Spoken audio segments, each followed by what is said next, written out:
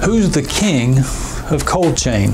Well, a lot of people think they are. I took a trip to Pharr, Texas last week to share highlights of our annual trade numbers publication at an event in one of the nation's busiest border crossings. The trade community there is rightfully proud of its overall trade, including its fruit and vegetable imports. It ranks number one for avocado imports, raspberry imports, and it ranks number two for tomatoes and aspires to rank number one there also. Pharr, a town NAFTA made, considers itself the leader in fruit and vegetable trade. So then I returned to my home in Miami, which also considers itself a leader in perishable trade. It ranks number one for fish fillet imports. It ranks number one for fresh cut flowers. And until last year, ranked number one for melon imports. Again, the community thinks it's the leader in perishable trade.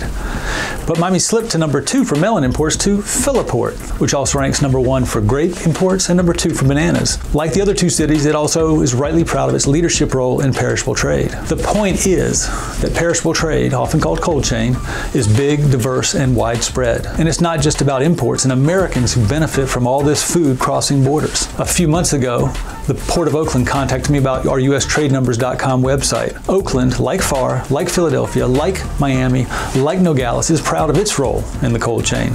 It leads the nation in the exports of almonds, in the exports of pork, in the exports of fresh beef. It ranks number two for wheat, number two for frozen beef. And if you throw medicine in there, including plasma, blood cells, and the like, you see billions of dollars in trade entering at airports in Chicago, Cleveland, Dallas, Fort Worth, Miami, Atlanta, and elsewhere. Curious to know more? Visit USTradeNumbers.com and remember, trade matters.